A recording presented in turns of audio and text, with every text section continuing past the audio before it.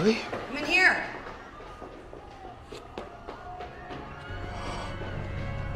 Kelly? You said you were.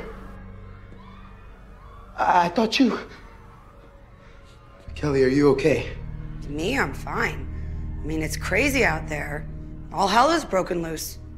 Are you okay? Because you seem nervous.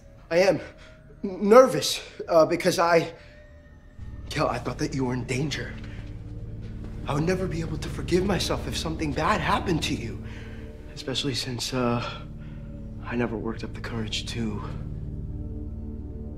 kiss you. Well, maybe we should change that. Yeah, maybe we should.